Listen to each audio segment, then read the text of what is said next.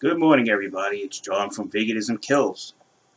It's 6:25 a.m. Thursday, January 13th, and today we're just going to bring up facts, undeniable, undisputed facts. What what's happening with veganism and what it's proving to actually be. A fad, dangerous diet with consequential health catastrophe for most people that go on it. Now, how vegans can sit there in denial and say that veganism hasn't killed uh, uh children when one of the biggest proponents and promoters of veganism, nutritionfacts.org, Dr. Greger, will tell you since August 25th, 2011, that yes, veganism has killed children and will continue to kill children because vegans don't know what the fuck they're talking about. You're murderers, vegans. Each and every one of you who turns around and says this diet is 100% healthy for all stages of life, you are responsible for convincing parents to make their children vegan and killing them. It's gotten so ridiculous that they believe that making a dog vegan is a good idea. It's their duty to save the dog from itself. So basically, uh, vegans feel that way about people too. They they feel it's their duty to save people from themselves. You know, they're flying around in green capes and they're saving the world. It's a delusion. You're not doing anything. Couple who feeds puppy only vegan food are banned from owning pets. You guys can't even hold on to a pet. You're not allowed anymore. Why? Because your ideology clouds your logic. You're living in delusion. Seek help. And stay away from our children.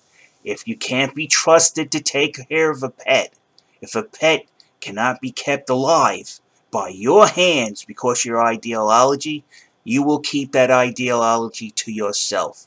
I catch you spreading it, trying to spread it to my child on Roblox, Minecraft, I will have have to step in and stop you. Even take it as far as suing you. So this story comes out of Australia. These vegan idiots who care so much about the animals killed one puppy and crippled another. There goes the, the, the, the high IQ vegan idiot, the vidiot.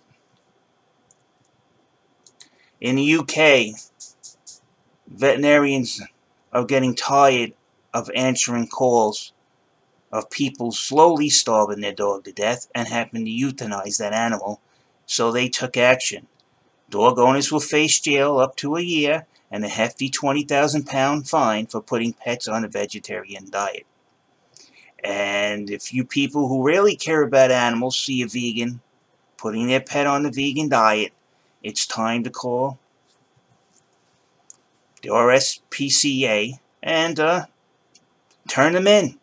And I think once they pay a nice hefty fine, they'll rethink their bullshit. Maybe it'll snap them out of it and make them realize an ideology that's based on philosophy cannot compete against science. They're like a religious sect, a cult. They're, they are a cult. When your ideology takes precedence over known scientific facts, you have become a cult member.